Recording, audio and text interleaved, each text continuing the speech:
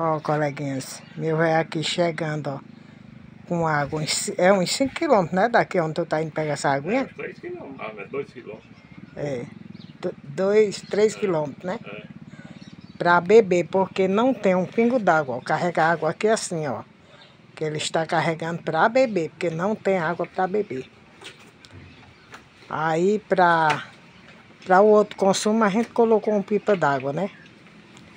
Deus nos abençoou com pipa d'água, né? E para as outras coisas é preciso ele estar tá pegando. Assim na, na moto, ele vai carregando na moto, aqui ele leva, traz para aqui, ele leva para a roça, para os cabritos. E assim as batalhas daqui, ó. Mas mesmo assim nós agradecemos a Deus, né? Deus sabe de todas as coisas, né?